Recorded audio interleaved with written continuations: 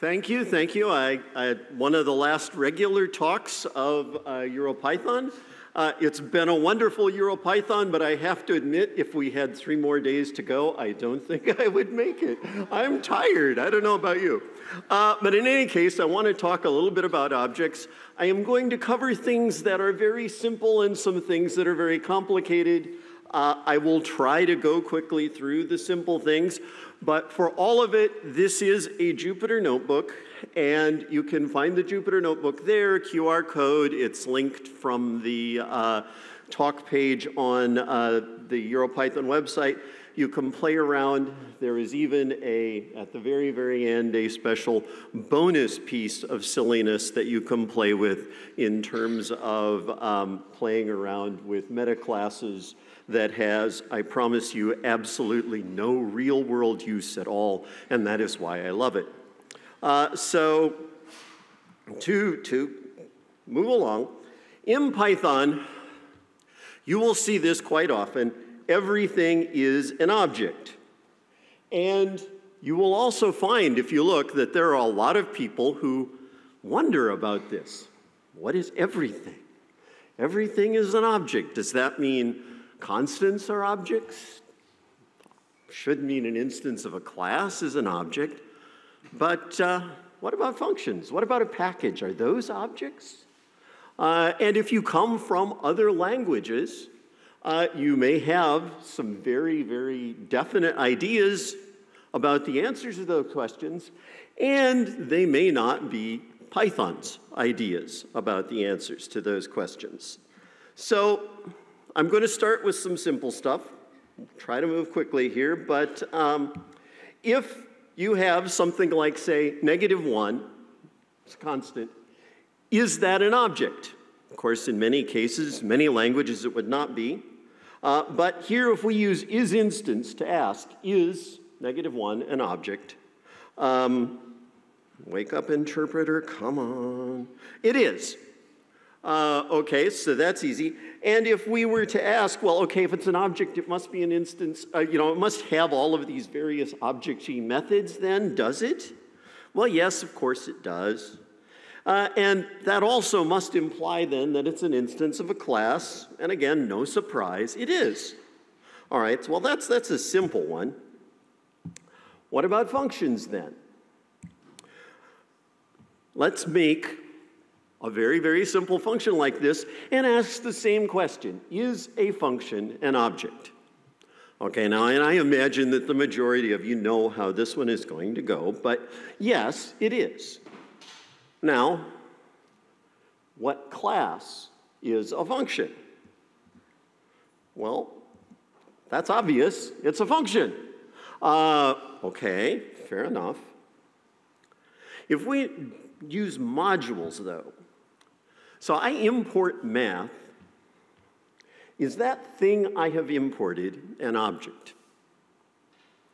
So again, some of you are very confident of the answer, and, and probably most of you will have at least a good guess, uh, but let's, let's confirm yes, it is.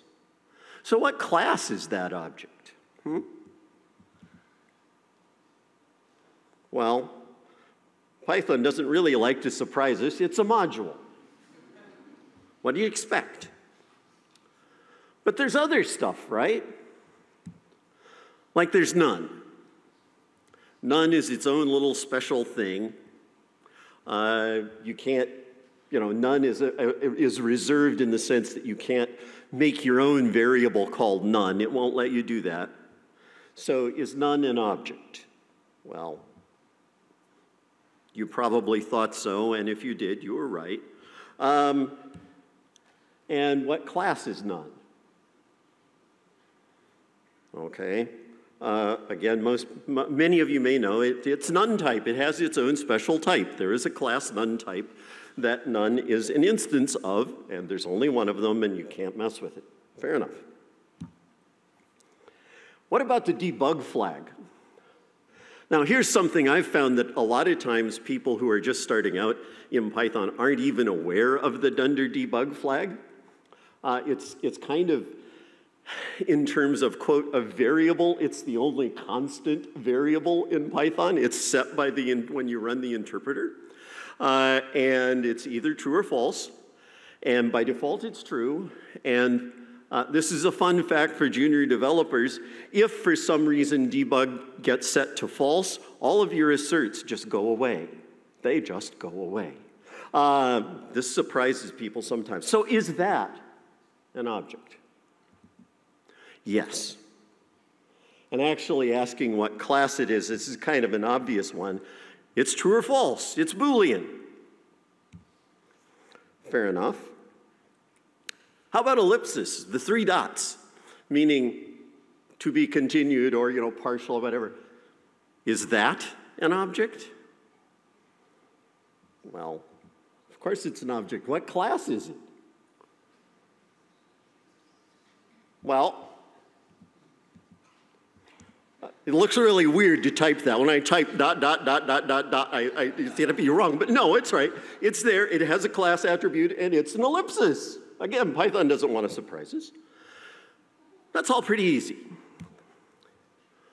What about things like those symbols? I, I just picked uh, the minus symbol uh, to test. Are those objects? I mean, we don't have time. I'd really kind of like to do a survey here and get some answers as to this, but, uh, well, no, of course not. I mean, you just get a syntax error because this is part of the machinery of Python. Um, same thing if you have any of these reserved words, which was just kind of the uh, off the top of my head list. Uh, I chose in as my example. Is in an object? No. Again, that, that, that throws a syntax error because you know, we kind of need those bits and pieces to work with the rest of the language.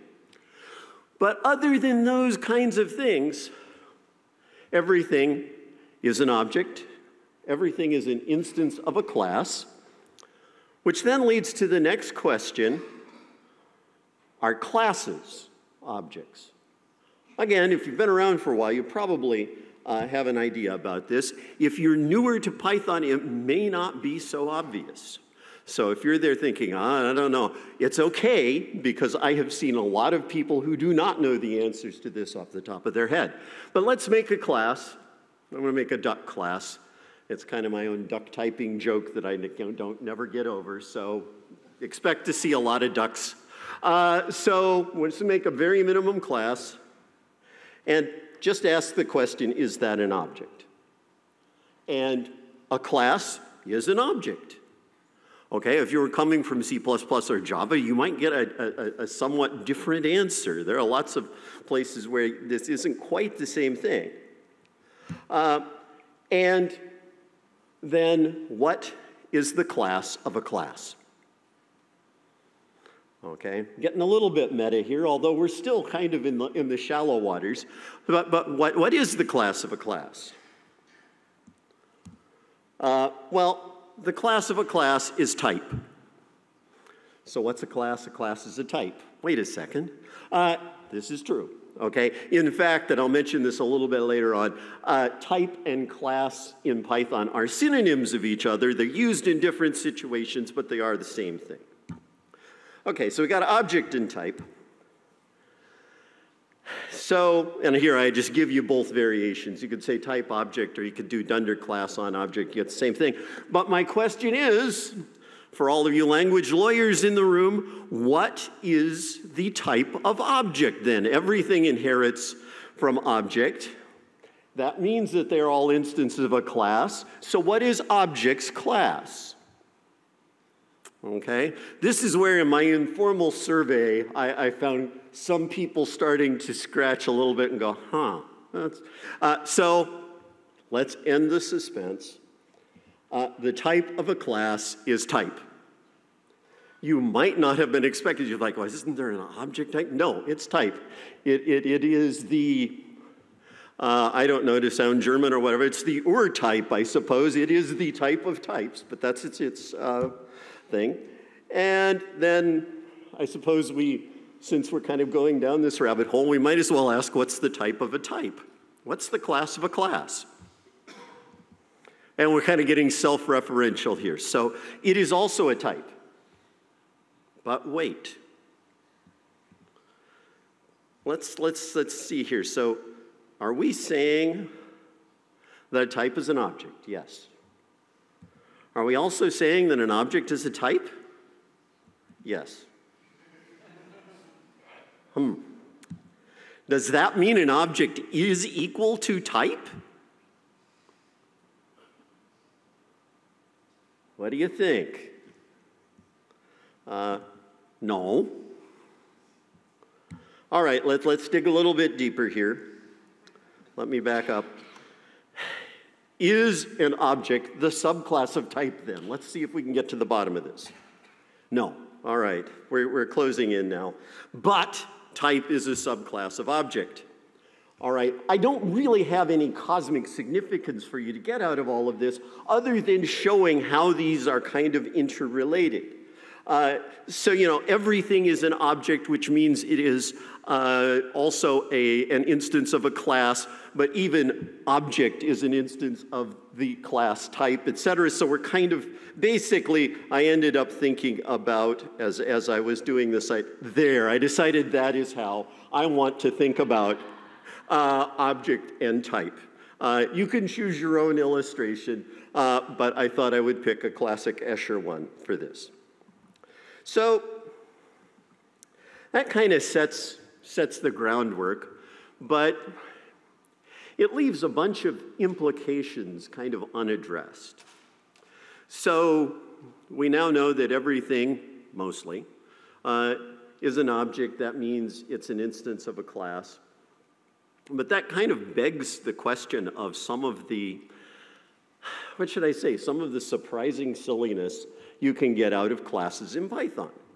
And again, some of these things, if you are coming from another language, will strike you as strange indeed. Actually, I've been doing Python for now 25 years, and they strike me as somewhat surprising sometimes. Uh, so, what's a class? Well, it's an object of type type. We've already established that. And you know, you make it with class and all of that. So, let's make a class and have a quick peek at what we get when we, we make our minimum duck class here again. Okay, you do that and you like can do a dur on it to see what's there, and it's like, oh my goodness, we have all of this stuff that we just created with just, you know, pass. Uh, except that really most of those attributes you see are inherited from object. If we look at just what's in our minimum class, it only has a few things. It's got, you know, a module entry, it's got a, a, a dictionary, which is what we're looking at right now, reference tracking, and a, and a doc attribute, sorry. Uh, and that's about it. So let's, let's add a few more things and see what happens, because this is when the silly stuff starts. So we want to add an instance method. It's just the same as a function. We use uh, def and, and, a, and a name, and it has to have a parameter self. Uh, and again, the name self is used by convention. It could be anything. Um, but if you are writing a class, use self or the other kids will make fun of you on the playground. So don't do that. Um, all right, so let's, let's add a, uh, a method to duck. So we're going to make a hello method that basically will print, uh, hi, I'm a duck. And let's, let's make Donald, which is actually a specific instance of duck and test out the hello method. It's pretty simple. Hello, I'm a duck. Well, brilliant. Um, the other thing we can do, of course, is have attributes on the instance. Again, we use self by convention. So we can do things like, you know, give the duck a name and a, and a sound. And I, I sort of apologize here. We're kind of running off to the side here, but nothing, nothing too shocking except that we now have dunder init to, to set those two attributes when the thing is created, and then our help, our hello method rather, refers to them as it prints out its little message. So we can compile that so that works, okay. And yes, Donald can quack, yay, wonderful. Okay, and if we look now at the dictionary for the duck class, it's got more stuff, okay, right? It's got, and I, I, realize this is a little bit tangled, but it's got a dunder init entry in its dictionary now, which points to that method, uh, which it just refers to as a function. It's got a hello entry, which points to the hello entry, you know, and all of the rest. Okay, fair enough. Uh, and if we look at Donald itself, the instance, the object that inherits from it, it has its instance attributes, name and sound. Um, but there are a couple of, of silly things about classes that quite often don't get much airplay. Uh, and I think I really should maybe emphasize one more time what I am about to show you is for educational purposes only. It has very little practical use. Don't you go putting this stuff into production saying, I told you to do this, okay? Do not. Um, but there's some stuff going on. So in Python, it is common you can use the class name as a function to create an instance of that class, right? Not just with classes we create, but we can give something that is uh, like even a string containing uh, one uh, to uh, int and use it to make an int. Or we can give a bunch of stuff to list and use the list function to create a list or a dictionary or whatever it might be. So, since class and type are the same thing, that should imply that we can use type as a function to create a class. Okay? So let's do a couple things here. I am going to make an init function that I call init initfunc. And this is not part of a class, right? This is just a function that stands alone. I'm using self as a parameter, but that's just uh, by convention. I could use thingy or whatever and it takes a name, and then I sort of add that to, to self's name attribute. Uh, and I've got a uh, stir funct that basically will report some stuff about what it is. And again, it's, uh, sorry for cutting it off, but I wanted the code to be large and easy to read. Uh, but so, you know, just sort of looks at the name and the class and whatever and says what it is. And then I've got a dictionary that I call namespace could call it anything, uh, that basically maps the string dunder init to my init func and the string uh, dunder stir to my stir func. Okay, if you've done much with classes, you probably know where I'm going with this. Uh, but in any case, if I do that and look at namespace, you can see all I've got are those two entries pointing to my, uh, my functions. Then, if I wanted to make a class from scratch, uh, and I realize thinking about it, that's kind of a weird English idiom. Uh, if you are making something from scratch, that means you're making it from the rawest materials, okay?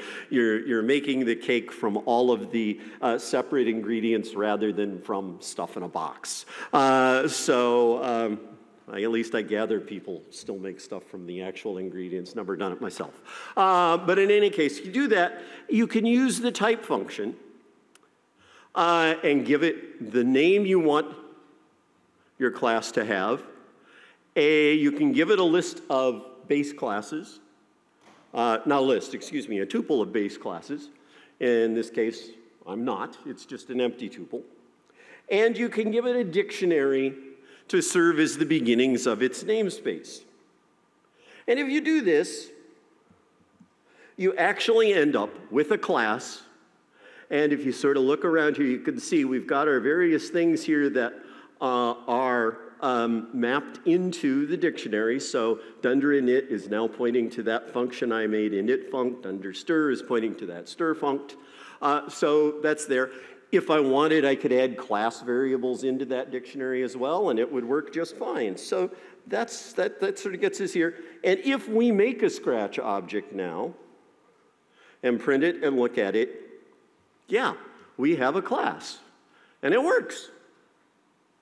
Okay, again, not a whole lot of practical uh, use for this. I can see I've got to talk much faster to get through the good stuff. Uh, so in any case, a couple more things real quick. For one thing, we know all about um, the fact that we can have various methods.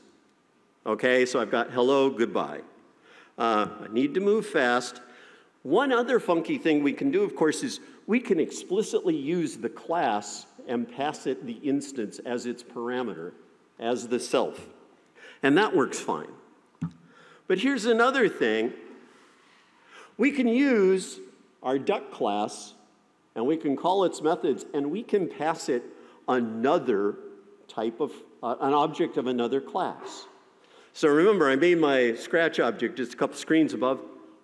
If I do this, does that work? Okay, I mean, I'm calling duck hello and duck goodbye with a scratch object. Does it let me even do that? Well, of course it does. Um, it, uh, probably most of you were never silly enough to even give this a try, but it works. You can also, here, same class, I've added a farewell separate method here, all right? Oops, I need to do some compiling. There we go. And I can run this. Goodbye, farewell both work. However, I can also uh, change my goodbye method to another function, make a new instance, and it will work now with a new method there, okay? I've replaced the methods. Question is, I already had a class, an instance of that class using the old method. What happens to it now? Does it work? Does it use the old one? Does it use the new one? It also uses the new one.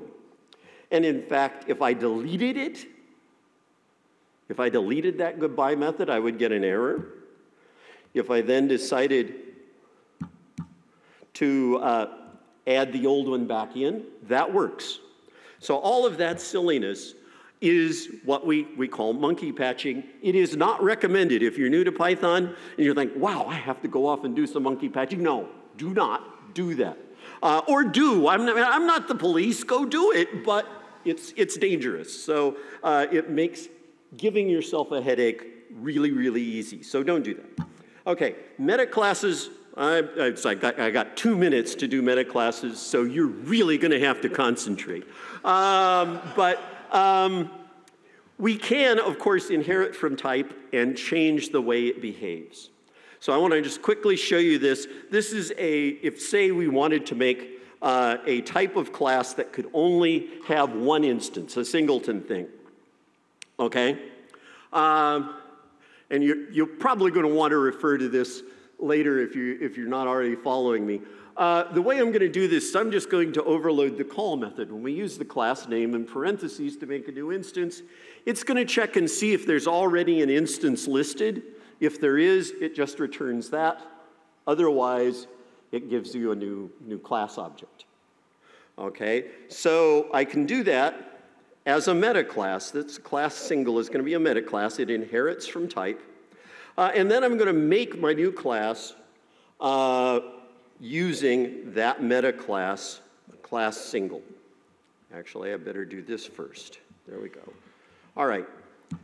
And then, when I call it the first time, it makes a new class because it doesn't have one. When I make a, a second instance, it does not do that because it already has one. Okay, so that's just kind of a way, and if you're thinking like ORMs use this meta class trick all of the time so that they can control the way that things sort of pick things up off of the database, et cetera. So that is one use, one very simple example of how you can do um, a meta class uh, that may make sense. I mean, when I talk to people, they're always like, oh, meta classes. I know I know this. Uh, the good news, and of course I can do other classes as well, but uh, these two instances are exactly the same object. Uh, and I could go on and make more. In the interest of getting through this, I won't. Um, but the thing is, that lets you change how classes behave. And here's the key. Uh, I encourage you to play with them and get to know them. That's fine. Uh, but the key to is whether or not you need to use a meta class in production is you will already know for sure you must use a meta class. If you're asking yourself, hmm, I wonder if I should use a meta, no, you should not then.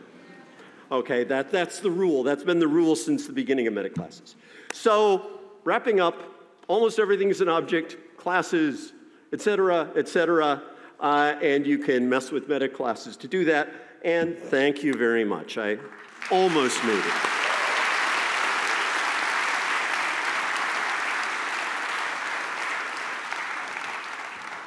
All right. Any questions? I left them speechless. Uh, thanks for the great talk. So usually I teach meta class in half a day. You do it in two minutes. That's very ambitious. A question: You overrode the dunder call to do a singleton. I would have o- overridden the dunder new. What's the advantage using dunder call versus dunder new? Um, I, I'm not sure that there's really an advantage. Um, actually, what I asked myself when I was doing it is there any disadvantage? And I couldn't find one for that either. I think it's more just a matter of how you wanted to do it. And I wanted to kind of grab things as early as I could. So that's why I chose call. Okay, thanks. Any other questions? Oh, yes, sorry. Thank you for the interesting talk. Uh, do you have another example where you can, where you should use meta classes besides ORM?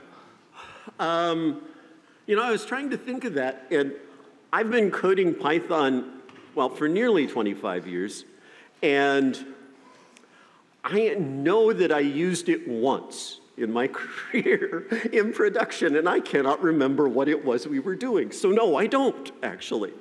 Uh, well, I mean, like if you wanted to do something where you were controlling the registration for some other resource, in effect, vaguely some variation on, on a singleton or something like that, or you wanted to track them, yeah, but I don't have a good example. Do you?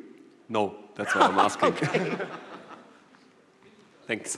Thank you. All right, let's all thank Naomi for a very classy talk. And we're taking a break now. Thank you.